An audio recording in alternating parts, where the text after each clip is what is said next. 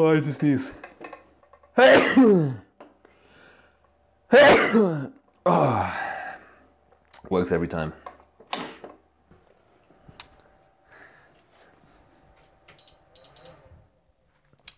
So as a self-professed productivity geek, I like to streamline all areas of my life and job applications are no exception to that rule. I designed a somewhat streamlined process to help me apply for my jobs in the most efficient and productive way possible. And I used this approach to transition from predominantly working full-time as a doctor to now working full-time as a data scientist. And in homage to our Lord and Savior, Tim Ferriss, I've decided to call this the four hour job search. I've made videos in the past where I talk more specifically about different stages of this process. In this video, I just wanted to give more of a high level overview of the overall process, how I kind of streamlined it, um, and some reflections on you know the benefits I felt that I got from that. So I divided up the process of applying for jobs into four main stages, which are identifying jobs you want to apply for, selecting jobs that match your criteria, skills, and preferences, sending off the application, cover letter, and CV, and then preparing for the interview. And I looked at each of these stages in turn and I asked myself, how could I streamline each process? So firstly, in terms of identifying jobs, I looked at all the websites that listed out jobs that I would potentially be interested in applying for. I decided the search terms and the area that I was looking for. So in my case, that was data scientist or machine learning engineer based in London. And then what I did initially is just copy the links with these search terms in them so that I could just have a list of links. I could click on each of those links and I could see all of the recent jobs. And after a couple of weeks, I decided to actually automate this process a little bit more. So then I wrote some code which actually would basically do this process manually. It would go to the websites, pull out the jobs, uh, and then list out those in an Excel document. And I made a previous video just explaining how I did that and what I felt, you know, some of the benefits of doing that were.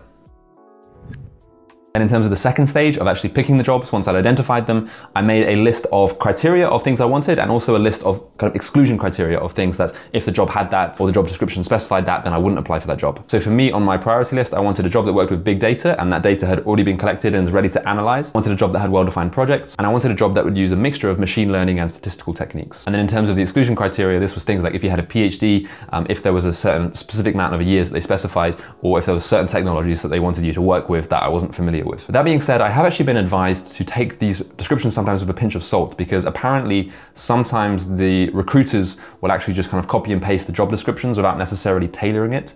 So there might be skills there that it says you need or that they want, but actually aren't necessarily using the job. So therefore you might still get the job if you apply for it. So I was a little bit flexible on this, but um, on the whole, I think if it said like PhD and five plus years working with uh, ETL pipelines, then um, I would kind of rule myself out and just decide not to apply for that kind of job. So then what I would do as part of the streamlined process is I would just get those job listings, I would work through each one in turn, and I would just say binary yes or no, does it meet my criteria? Does it have any of the exclusion criteria? Does it meet all my priority criteria? And then just make that decision of whether or not I'm going to apply. And then for the third step of actually applying for the jobs, once they'd made it through the first couple of stages, there was a couple of things that I found pretty useful. The first was writing my CV in something called LaTeX. So for those who are not familiar, LaTeX is basically a coding language that enables you to write your CV um, using this kind of code, it was relatively simple, and then you export that and it shows it as a PDF and then you can send that off. It took me a little bit of time to learn this initially, but what I found to be a real game changer about using LaTeX is that you can basically comment in or out different parts of your personal statements, and that enables you to tailor it depending on your application.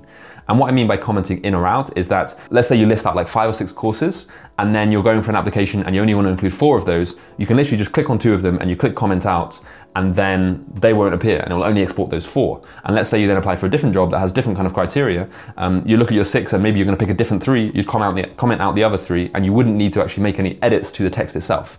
So what I found super nice about that is I can have this CV where I put all of the courses I've ever done, all the different experiences, jobs I've had, etc.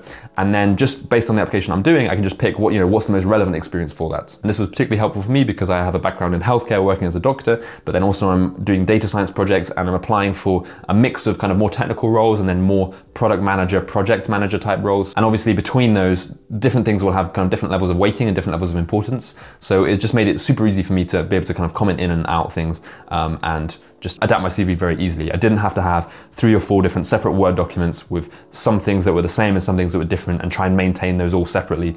Um, and it kind of becomes a bit of a headache that way. There definitely is a bit of upfront time investment to learn how to write in LaTeX. I personally think it was really worth it because I've used it in other projects as well and it's generally been quite helpful. If you are interested in writing your CV in LaTeX, I would recommend using the website overleaf.com and there's lots of different templates. So if you just search for LaTeX CV template, you'll find some really nice templates and you can just pick them, basically use it and then put your information into that. For the cover letter, I basically took the approach of having a generic middle section and then a tailored opening paragraph and a tailored closing paragraph. So what that meant when I was doing my applications is I would take the same cover letter, but I would just tailor the first and the last to whatever job I was applying for and just kind of keep doing those in turn. So the way that this would fit into my process is once every week I would go and work through all the job listings that I had. I would look at each application and then I would just tailor my CV slightly by commenting things in and out and tailor my cover letter, tailor the introduction and tailor the uh, final kind of concluding section, then just send those off and then go on to the next application and just kind of cycle through those and try and do things as quickly as possible. One other piece of advice that I got, which is not about streamlining the process, um, but it's something that apparently can help boost your application uh, chances, and that is including a tailored introductory sentence or two at the top of your CV. The idea is you kind of summarize your whole application in a sentence or two in a way that kind of sells yourself as much as possible,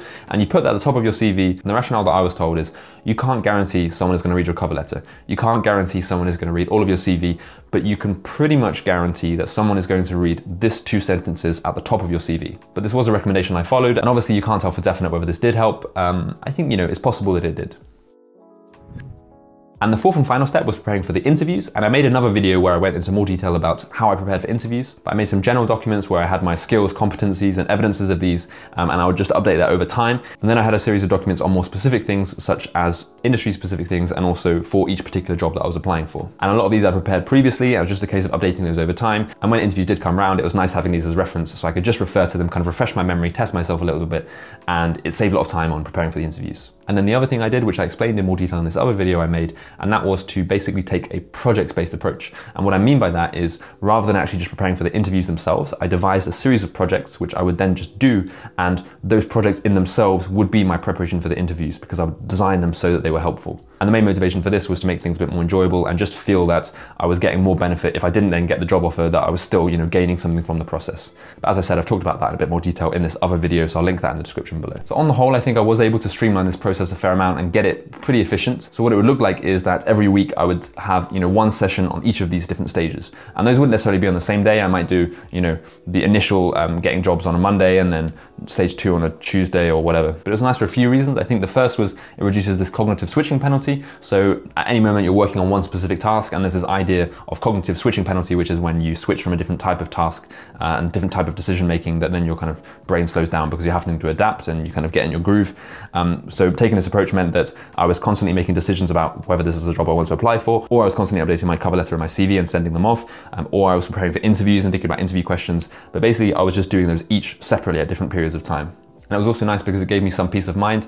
I always felt that I didn't need to be doing anything more because I knew that I was being quite systematic and that I was looking at all the new job postings that could possibly interest me and working through those. But I didn't feel like if during the week maybe I wasn't hearing back from jobs that I'd have to need to go look and do any more applications, I could just do that consistently and then focus on spending the rest of my time doing other things that are interesting to me and working on these projects or, or, or whatever. And ultimately for me, um, job applications are not the most fun thing. Obviously it is very important and uh, it's very important to get the right kind of job for you. But for me, making the effort to try and be as systematic as possible and trying to be as efficient as possible just made it a lot less stressful and less unenjoyable, I think, than previous job application cycles have been. And I felt like it freed up more time for me to work on other projects and learn skills and generally do things that I think are both enjoyable and good for my long-term future. So that was the overall approach that I took to streamline my job applications.